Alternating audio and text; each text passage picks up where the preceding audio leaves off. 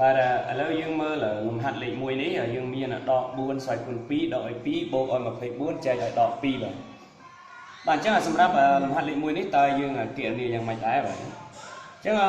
ជាដំបូងបង្អស់គឺយើងត្រូវបំបត្តិអាស្វ័យគុណនេះចោលសិនយើងអាចទៅធ្វើ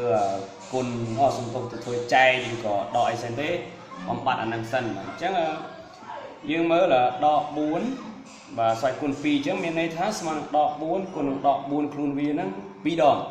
អញ្ចឹងយើងគុណសញ្ញាមកដកនឹងដកគឺចេញបូកបាទ4 4ដងគឺ16អញ្ចឹងចម្លើយគឺ16អញ្ចឹងយើងសរសេរ16យើងអត់ចាំបាច់សរសេរសញ្ញាបូកនេះទេយើងសរសេរតែ16ចេះមកបានហើយ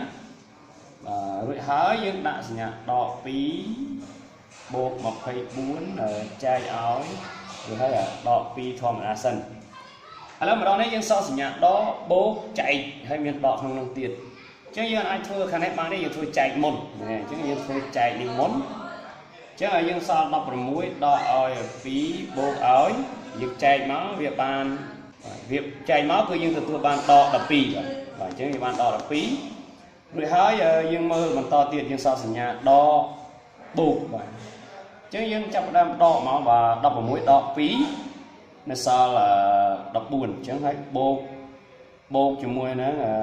ដក12បែបនេះហើយយើងគុណសញ្ញាចូលទៅយើងគុណសញ្ញាចូលទៅ